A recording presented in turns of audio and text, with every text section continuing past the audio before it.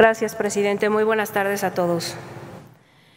Este año, el 2021, representa en México un año fundamental para la democracia, ya que de acuerdo con el INE está por concluir el proceso electoral que dará paso a las más grandes elecciones de la historia en México. No solo por el crecimiento en números de electoras y electores, sino también por el número de cargos que se disputan. Estamos hablando de más de 21 mil cargos de elección popular. En esta ocasión histórica podrán participar 93.5 millones de votantes potenciales.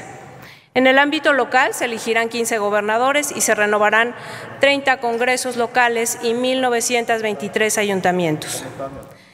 Es mucho lo que está en juego y por eso hoy vemos con preocupación un gesto que deteriora la democracia. La, la creciente intromisión de los gobiernos estatales y municipales en la elección. La ley electoral es muy clara en cuanto a, los en cuanto a que los gobiernos deben respetar el, el periodo de veda electoral. Es preocupante que se utilice la posición de gobierno para denostar a candidatos opositores. Se ha señalado a gobernadores y presidentes municipales con intromisiones en estados como Michoacán, Oaxaca, San Luis Potosí, Veracruz y Zacatecas. Se les ha señalado de imparcialidad y equidad en la contienda. Hoy no debe hablarse anacrónicamente de fraude electoral, y ese discurso tampoco debe ser el preámbulo para deslegitimizar los resultados tras la, tras la contienda electoral. La democracia es frágil, por lo que exigimos a las autoridades estatales y municipales que saquen las manos de la elección. No es tarea de los gobiernos incidir en las elecciones. Son algunas irregularidades que se están presentando en el Estado de Puebla y otras entidades federativas, ejemplo de falta de equidad en la contienda. En Puebla es muy probable que se esté incurriendo en el delito de turismo electoral. Y es que representantes del PAN, Movimiento Ciudadano, Compromiso por Puebla, Nueva Alianza, Fuerza por México y redes sociales progresistas que contienden por la presidencia municipal de Amozoc, Puebla, han señalado la posibilidad de que el candidato de Morena y actual presidente municipal, Mario de la Rosa Romero, utilice a los fieles de la luz del mundo para cometer un fraude electoral.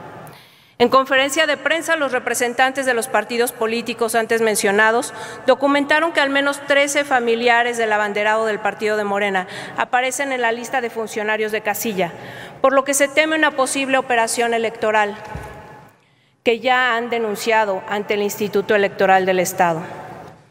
Pobladores de estados como Veracruz, Ciudad de México, Oaxaca, Estado de México, Tlaxcala y Chiapas acudirán antes del día 6 de junio, alojándose en espacios de la luz del mundo, para votar y posteriormente regresar a sus lugares de origen.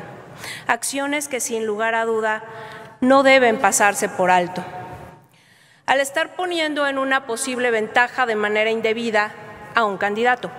Por eso es necesario que el Instituto Nacional Electoral y los institutos electorales de las 32 entidades federativas garanticen la correcta realización de la jornada electoral el próximo 6 de junio y con ello evitar que se cometan fraudes a la ley electoral.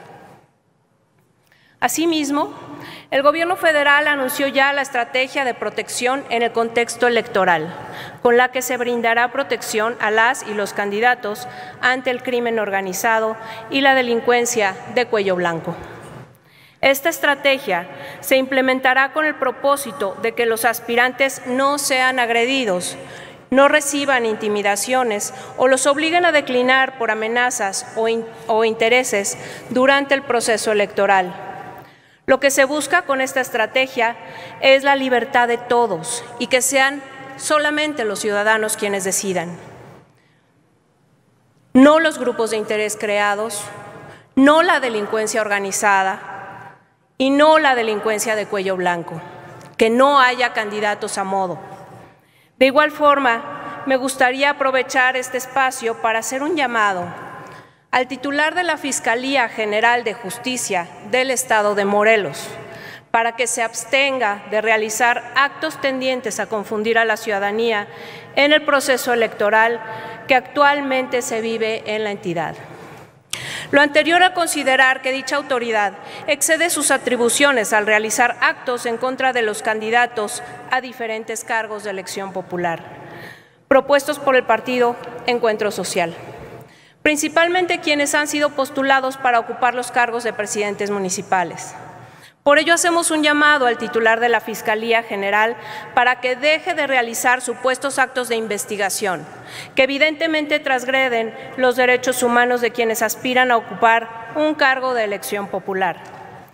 De igual manera, solicitamos al titular de la Fiscalía que en todo momento se respete a los candidatos el derecho al debido proceso, así como el principio de presunción de inocencia.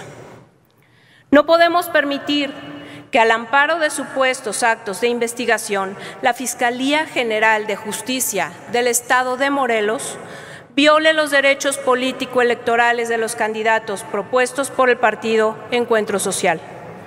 Tampoco podemos pasar inadvertido el hecho de que la Fiscalía especializada para el combate a la corrupción debe a la luz de lo que prevé el Código Nacional de Procedimientos Penales, mantener en reserva los actos de investigación que realice en contra de los servidores públicos para no afectar su defensa, cosa que definitivamente no ha respetado.